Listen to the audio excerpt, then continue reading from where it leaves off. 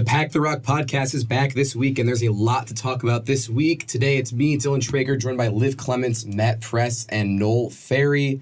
And let's touch base on two weeks ago, IU versus Maryland. We saw Maryland take it 44 to 17. What are your guys' first thoughts on that game? Yeah, I mean, I got the pleasure or displeasure of actually seeing that game in person and broadcasting it. So just kind of seeing everything firsthand there and, watching the plays fully unfold. Sometimes you don't necessarily see everything on TV. It was just just kind of hard to watch overall. I mean, from the get go, Maryland showed that they would pick apart that defense very easily and and there was no signs of life on offense Maryland had their number in every sense of the game and and really a damper on everything overall. Yeah, you mentioned it. Uh, that was my main takeaway was kind of how bad the secondary had played because obviously we knew going in the offense would be relatively anemic in, in the red zone, which they have been all season. But yeah, just a lot of miscommunication in the secondary. It was the same kind of effect we saw against Louisville when uh, Jack Plummer found Jamari Thrash for, I think it was two separate 50 yard gains, and Taulia Tagovailoa, same thing with Tai Felton he had three first half touchdowns. So I think my main takeaway from Maryland was just the secondary that had started the season so well and had kind of shut down Ohio State's receiving corps, now kind of on a downward swing. And that was a little surprising to me and maybe a little disheartening moving forward.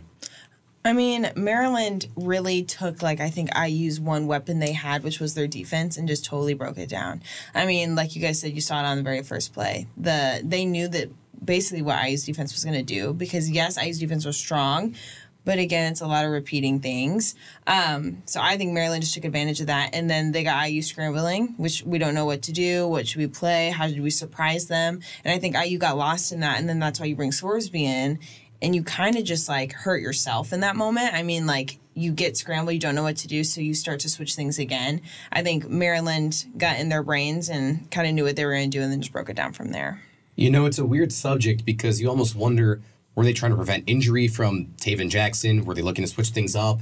It's something they never really addressed, and it leaves everyone else thinking, what's the future with IU? Sorsby did look pretty decent, I would say, in that game for when he played. He went 7 for 11, 90 yards, two touchdowns. Tayven couldn't get anything done. Could this mean something different down the road? I personally think Tayven is the quarterback, but maybe Coach Allen has a different plan. I mean, I think with the quarterback like decision, I mean, yeah, Brendan Sorsby went in and he actually did pretty good for the time he was in. I mean, like you said, you got those two touchdowns with gave IU like a little spark. I mean, they weren't going to win anyway. Um, but I think it's fair to say that Tayven did put on a show. I mean, yes, he threw an interception, but that's something he struggled with all season. Um, but I mean, I feel like it really is going to start with that O line. I mean, I really think that the O line has to give Tayven time. Um, he struggles when he gets in the pocket and when he starts to feel like he's under pressure. I mean, he starts to run across the field instead of down the field. Um, so, I mean, that's something he needs to look into. I don't think Tayven's performance was bad. Um, I mean, Maryland's solid, and he's kind of going to get that get back from every team moving forward in the Big Ten. Um, I think that he showed that he's a new quarterback, but I mean, between him and Sorsby, I still think Tayven's gonna be the best option. I mean, and then you of course you have Dexter Williams, which is always an option too, um, possibly this season. So I think it'll be interesting. But I think the defense was the downfall. I don't think it was Tayven at all. Yeah, I'm not reading too much into bringing in Sorsby. I think it was kind of just garbage time, looking for a spark kind of thing. But uh, Allen committed to Tayven Jackson earlier this week.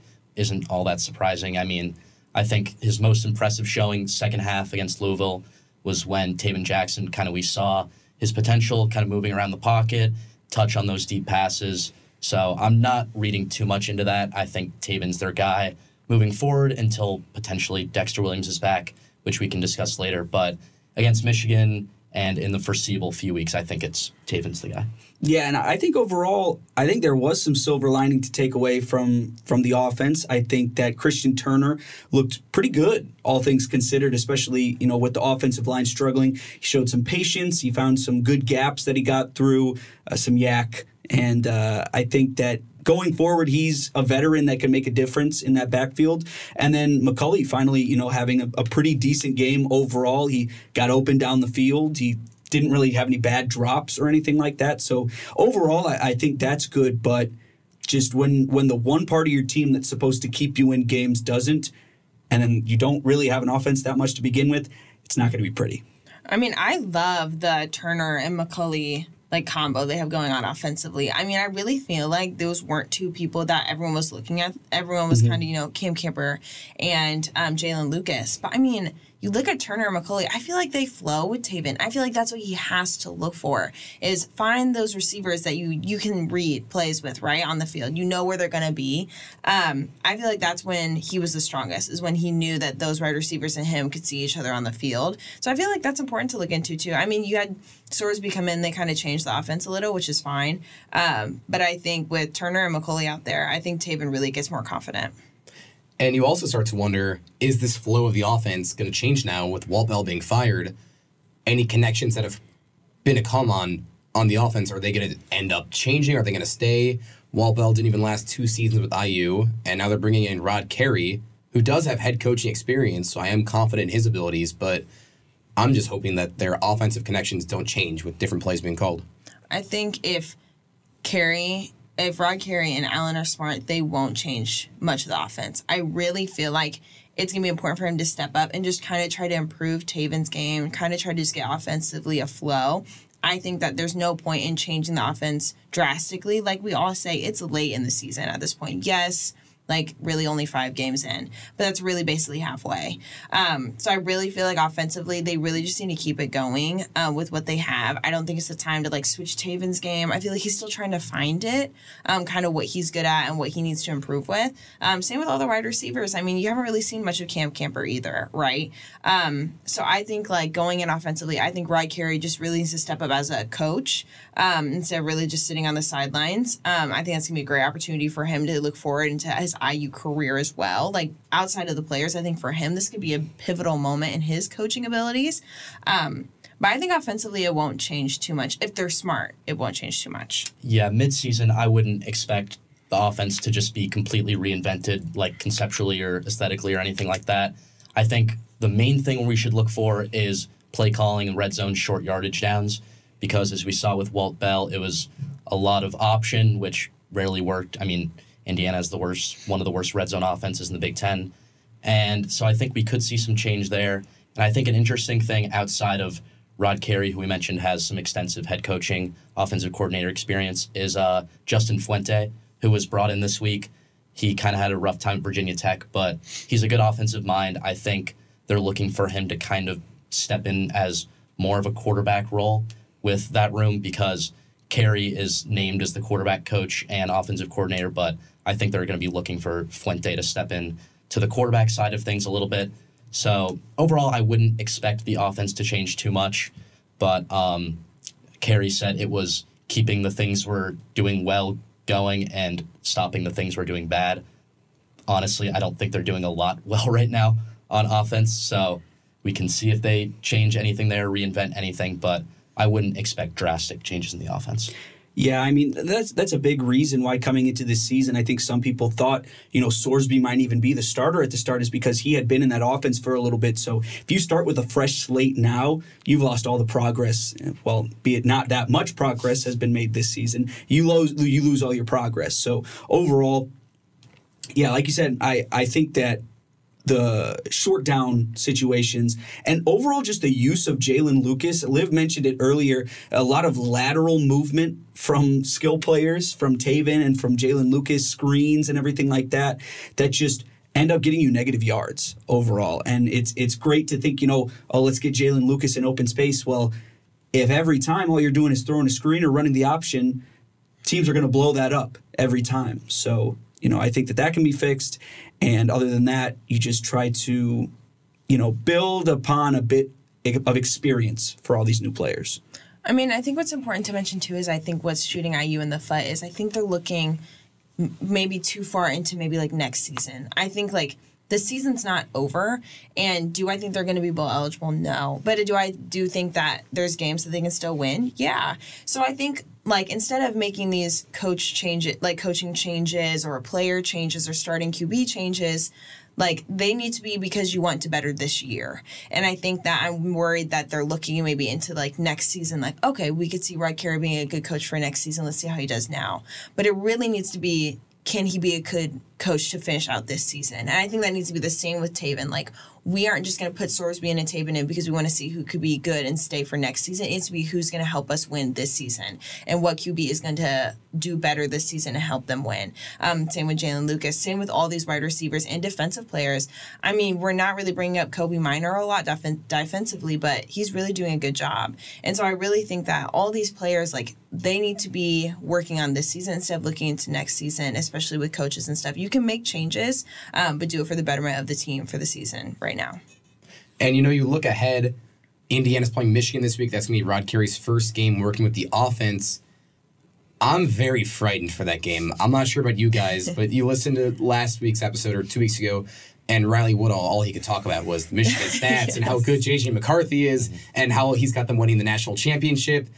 And I would say going into this game, you know, I was about this worried for the Maryland game, and I'm going to be about that worried for the Michigan game. I don't know. What do you guys think? Yeah, I mean, Michigan, they're ranked number two for a reason. I think right now, neutral field, they give Georgia a hell of a game. Definitely a national championship contender. I mean, far and away the best defense in the country, which doesn't bode well against an Indiana team who struggles offensively. But um, and uh, you talked about mentioning J.J. McCarthy, who's been phenomenal this season. And even more shocking is he hasn't had to play that much just based on game scripts and how much Michigan's been blowing everyone out. And you can talk about kind of their schedule and who they played, but you play the teams on your schedule and they've blown every team they've played out of the water, even though it's kind of lesser tier Big Ten teams. But yeah, I mean, they're giving up less than seven points a game. They haven't had a team even inside their 10 yard line this entire season. So it's about as tall of a task as you can get for Indiana, and I wouldn't expect much. yeah, I mean, you would need to take every superstition, every little, you know, idiom that people say about games like this and, and hope for the best that they all come true at the same time. You know, there's been doubts about JJ McCarthy over the past few years. You know, is he really one of the best quarterbacks in college football? And I don't have the answer to that question really right now. But you would need to have him have a horrible, horrible game. need the secondary to really tighten up and play like they played against Ohio State. And overall, you would just need Michigan to look at this game as, you know, a non-factor on their schedule, keeping their eyes ahead to next next week and, and their better matchups down the rest of the season. But I mean, yeah, there's not much more else I can say. It just does not bode well for Indiana this weekend. And honestly, it couldn't get much more embarrassing than Akron and then it couldn't get much more embarrassing than Maryland. And then now we'll see how it goes against Michigan. It, it always can get worse, and I would say it's going to be pretty demoralizing when Indiana's down five scores and it's Jack Tuttle throwing touchdowns against Indiana. to AJ Barr. I think that's the bottom of the pit, and that would be the most demoralizing it can get in that game. I mean, okay.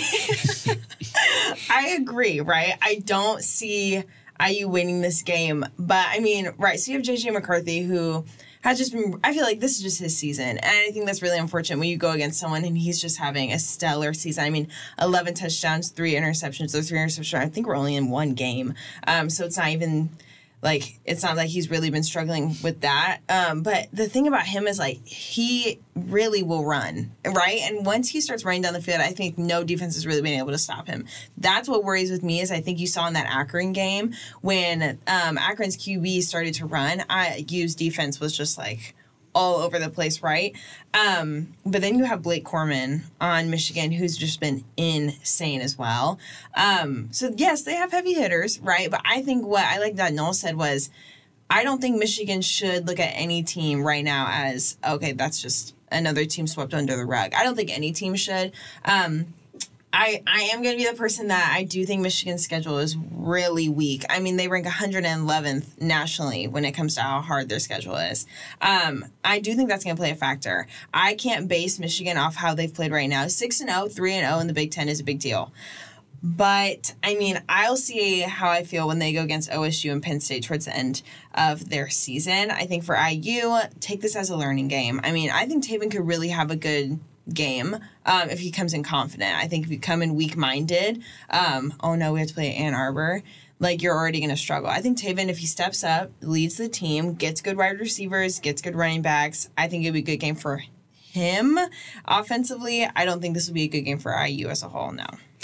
I also just want to add. Uh, Maryland was the team's, you know, first true away game of the season, and that stadium was not really filled. Like at all. It, it, it was not that great of a crowd in Maryland. You're talking about the big house now up in Ann uh-huh. Arbor. It is going to be rattling for any team to be there. And also, not only the big house, this is a big noon kickoff game, too. Yes. Mm-hmm. It's going to mm-hmm. be sold out. And whether it is or isn't sold out, it's going to be on national TV, and everyone's going to watch IU get demolished. I mean, you can look at it this way there's nothing stopping Michigan from blowing IU out once they step out of that tunnel. And if I'm going to be brutally honest on this one, I've got Michigan kicking the Hoosiers out of the big house 45 to 10. Oh. Yeah, all I can really say about the big noon kickoff is sorry for people around the country that are going to be watching that on TV. um, score prediction, I'll say, I'll say 44-7, Michigan. I think it's worth noting too, they're the least penalized team in the country. They just don't beat themselves. So, I mean, when you're a team like Indiana who needs virtually every single possible thing to go right in this game and more to even have a chance at coming within maybe a few possessions, um, Michigan's just not going to beat themselves. They have, it's about 2.1 penalties a game. They're as disciplined a team in the country as there is. You mentioned Blake Corum and JJ McCarthy in their rushing attack, just a lockdown defense. It's, I wouldn't, I wouldn't expect a whole lot. I mean, I'm gonna go. I'm gonna say that it's gonna be 42 to 14, um, which is yes, that's a hard loss, but I think that there's potential that it. There's potential that IU could get more points. I think that defensively they're not going to stop Michigan. I think Michigan's going to have a field day offensively, um, but I do think that IU can step up offensively. I think. I mean, they're coming off a bye week, which I feel like that is important to have going into Michigan. I mean, you really had time to really heal up some players, really get those kinks out, practice a full week with no game with a new offensive coordinator. I mean, that's going to be important going into Michigan's game. You kind of take a breather, kind of relax, look at film, see how you feel. Um, so I think that ended up being beneficial for them. I don't think it's going to change a whole lot. Um, but I do think that IU has potential to maybe show out a little bit. But I don't see this being like, oh my God, this is going to make the news the next day. IU beat Michigan. I just don't see it. Yeah, for my score prediction, I actually do think Indiana might be able to find their way into the end zone overall, just because of you know. In garbage time against Maryland, Brendan Sorsby looked looked pretty decent. So mm-hmm. my my score prediction is going to be forty eight to ten. I said a few times. I think they'll get in there one time maybe, and then the only chance they have scoring otherwise is is a decently long field goal. I, I just find the possibility of getting a first down on a drive to be like step one for for this Yes. team. Like before you talk about anything else, you need to get a first down. And when it's when you have a situation like that, it's just it, it's not looking good. I almost feel like it needs to be like a game where they try to stay out of being in the 10 yard line. I think that it needs to be maybe a game where you see Tayven throw more accurate long passes. I think that could be crucial. I mean, I feel like they really need to stay away from their weak points, and their weak points is right when they get to the end zone. There's no way they feel like they can get in there. Um, I feel like it either ends up in just going to fourth down, or it ends up with Tayven might possibly throw an interception into the end zone. Um, so I really feel like if they hit on longer passes, that gets them closer, or maybe just gets them that touchdown off rip. Um, it could be way better for them. Um, I just have a fear that they're going to start to break under pressure when they see those weak spots. But hey, we have a new offensive coordinator, so maybe he'll get those kinks out during bye week. That's the goal. Would love to see that. And uh, I'd also want to touch base on uh, Dexter Williams. You know, IU's not being so transparent on what his status is with his injury. He is suiting up for games, and you see him getting reps in outside of the games. And I feel like we're being left out as fans and of Big Ten fans of saying, where could he be? Yeah, I mean, do we really feel like it's fair, like to keep? I feel like you keep bringing, we keep bringing him up, but I feel like if I was almost him, I would honestly be accepting that this is going to be Tayven's year. Um, I think for him, I think it's strong for him to have the potential to come back, and I really feel like he really could. Um, but I feel like there should be that part of him to accept that this really is going to be Tayven's year. I mean, he's really been the spotlight. I really don't see them all of a sudden taking Tayven out um, for example, like the Rutgers game, and then putting Dexter in the rest of the season. I just don't think it's fair to Tayven as well um, with how much improvement he's shown and how much he's trying to grow. Um, but I do think Te- Dexter can get in maybe some plays. I mean, maybe the Michigan State or Purdue game would be good options for him to try to get into there, see how he's feeling. But I mean, Coach Allen said they're not putting him in until he's 100%. And like you said, as fans, we don't really know where he is at all. Um, he might be at 50% and not might not even be close to playing. Um, but I do think that they should give him that option, Michigan State or Purdue, to maybe put him in. But I don't think it's ever going to be a starting position for him this year. Yeah, we heard uh, we heard on Monday from Tom Allen that he's nearing 100%. Uh, like you said, we don't know exactly what that means. It was a really, really severe knee injury he had last season. But um, he did come along a lot faster than they expected in the fall. And um, if he's saying he's nearing 100% now, I think we can expect game action in the next few weeks. I don't want to confirm anything, obviously, because we just don't know. But um, things are looking bright for him. And obviously, we saw in the few games he played last season, he added a different dimension to the offense that they don't have with Tayven or Sorsby. So I think that's interesting to note. But um, I would expect Dexter Williams to get in when he's ready and maybe start a little bit of a quarterback battle there with Tayven Jackson. But um, like I said, we'll we'll see.